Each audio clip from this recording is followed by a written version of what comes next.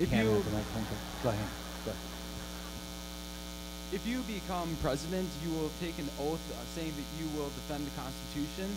Given that, will you um, try to prevent warrantless wiretaps and searches, which are forbidden under the Fourth Amendment?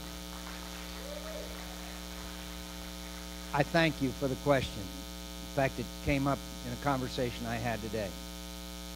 There is a careful balance between protection of individual rights and our obligation to defend the security of this country.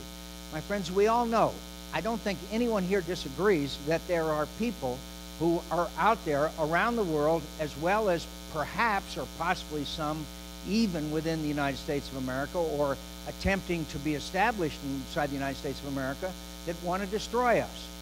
And they are using the most modern forms of telecommunications in order to do so.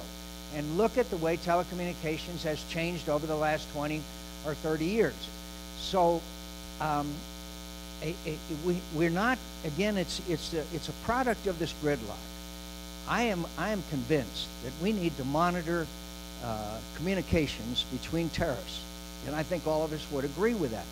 At the same time, we have to, but at the same time, at the same time, as you mentioned, there's certain inalienable rights. And among those is a right to privacy. So what we really need to do uh, to, to address this issue is have hearings, have discussions on it. I think that we should have the ability to go and uh, instantaneously and monitor the phone calls of people that we are that we suspect of being capable or intent on doing bad things uh, to America. So I pour, I support the FISA law. I support it. I support it. And interestingly enough, in the Senate, there was an agreement between Republicans and Democrats to move forward, and that solution I supported and still support. And it got all hung up in the House of Representatives. And now, and now, we are to a large degree, according to the Director of National Intelligence, without the ability to do some of the monitoring that he feels is vital to, to the security of this nation. See how far we have come, my friends? where we can't sit down and agree that uh, uh, on a way that protects people's privacy and at the same time gives us the ability to prevent attacks on the United States of America.